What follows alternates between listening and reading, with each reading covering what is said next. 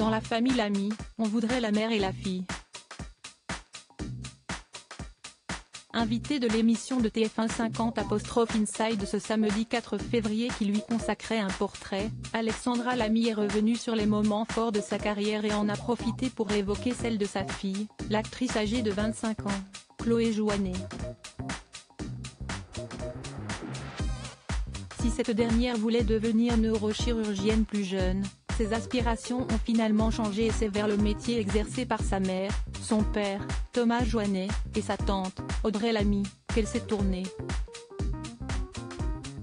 À l'heure où les enfants de stars sont souvent montrés du doigt pour leurs privilèges, aux États-Unis, le terme ne babies est notamment utilisé, l'actrice a tenu à encourager sa fille quand elle s'est rendue compte qu'elle aussi partageait cette passion de la comédie.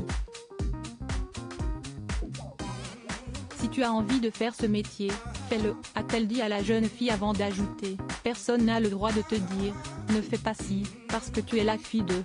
Tu sais l'avantage, si est-il vrai que quand tu vas aller dans un casting, on va avoir la curiosité de te voir, l'inconvénient, si est-il que tu auras droit à une chance. Donc prépare-toi avant.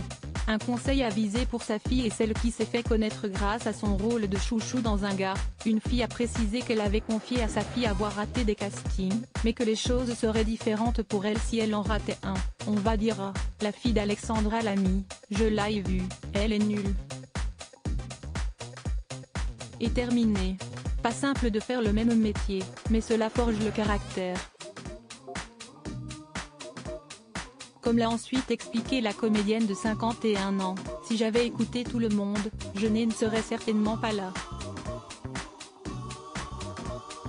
Pointant ainsi du doigt ceux qui lui avaient notamment déconseillé de faire un gars, une fille, de l'humour et de la télévision. Vu le succès rencontré, elle avait eu le nez creux de ne pas les écouter. Et Alexandra l'a mis de conclure en rendant un tendre hommage à sa fille, elle a bossé, elle l'a fait. Et puis c'était important de réussir par elle-même. Article écrit en collaboration avec 6 médias Crédit Photo, capture d'écran TF1.